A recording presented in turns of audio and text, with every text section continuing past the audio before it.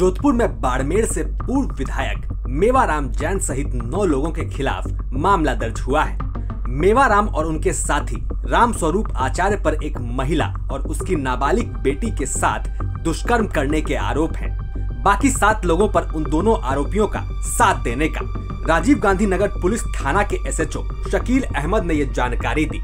उनके मुताबिक बाड़मेर के पूर्व विधायक मेवाराम जैन के अलावा राम स्वरूप आचार्य बाड़मेर कोतवाली के एसएचओ गंगाराम खावा बाड़मेर पुलिस उप अधीक्षक आनंद सिंह राजपुरोहित, दाऊद खान, प्रधान गिरधर सिंह सोडा, नगर परिषद उप सभापति सुल्तान सिंह, प्रवीण सेठिया और गोपाल सिंह राजपुरोहित के खिलाफ मामला दर्ज किया गया है। पीड़िता ने अपनी रिपोर्ट में आरोप लगाया है कि पाँच साल पहले राम स्वरूप आचार्य उनसे मिला था। वह उसके जोधपुर के विवेक विहार स्थित निवास पर आने लगा। वहाँ राम स्वरूप ने उसे नशीली दवा पिलाकर उसके साथ दुष्कर्म किया और उसके अश्लील फ़ोटो और वीडियो भी बना लिए जिसके आधार पर कई बार उसने आगे भी उसके साथ रेप किया। सर एक पूर्व विधायक बाड़मेर मेवाराम जैन के खिलाफ एक आरोप लगाया गया है। क्या पूरा मसला क्या है? आ, कल परिवादिया एक परिवार के साथ आई थी जिसमें जो परिवाद से संज्ञेय अपराध बनना प्राप्त पाया गया तो राजीव गांधी थाने में मुकदमा दर्ज किया गया जिसमें तीन सौ छिहत्तर डी एवं पॉक्सो एक्ट भी लगा है।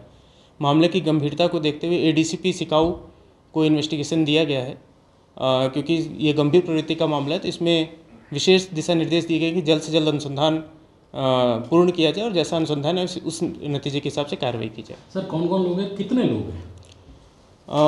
जो आरोप है वो करीब आठ से नौ लोगों के विरुद्ध लगाया गया है। जिस तरीके का परिवाद दिया गया था परिवाद के बेस पे एज इट इज़ मुकदमा दर्ज किया गया और उसका अनुसंधान शुरू किया गया सर क्या आरोप लगे हैं उसमें? और कब की घटना है?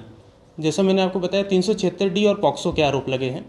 और घटना का समय यदि देखा जाए तो काफ़ी लंबे समय से घटना बता रही एक मतलब कंटिन्यूस ऑफेंस है। हाँ सर इसके खिलाफ जोधपुर में और भी एक मामला दर्ज हुआ था बाड़मेर भी एक्सटोर्सन का जो मामला दर्ज है वो इस घटना से मिला मिला हुआ है? अनुसंधान में ये सारी चीज़ों पर गौर किया जाएगा और सभी तथ्यों को अनुसंधान में लिया जाएगा। जो भी चीज़ अनुसंधान से आएगी उस हिसाब से कार्रवाई की जाएगी। दो साल पहले बाड़मेर से पूर्व विधायक मेवाराम जैन भी उनके घर आने लगे। तब दोनों ने किसी लड़की को बुलाने को कहा जिसके लिए पीड़िता ने इनकार कर दिया। लेकिन राम स्वरूप ने पीड़िता की 15 साल की बेटी के साथ भी रेप कर डाला। बाद में मेवाराम जैन ने भी लड़की के साथ रेप किया। महिला और लड़की ने जब इस पर आपत्ति जताई तो उनको अगवा कर एक फार्म हाउस पर ले जाया गया, जहाँ पर इन लोगों ने दोनों के साथ मारपीट भी की।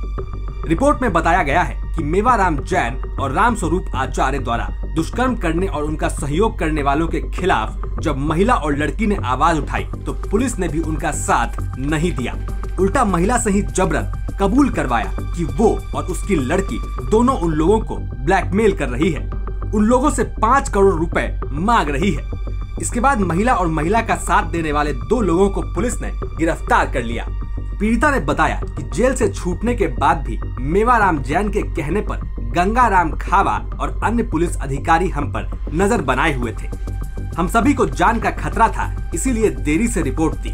फ़िलहाल पुलिस इस मामले पर कार्रवाई करने में जुटी है। ब्यूरो रिपोर्ट राजस्थान तक।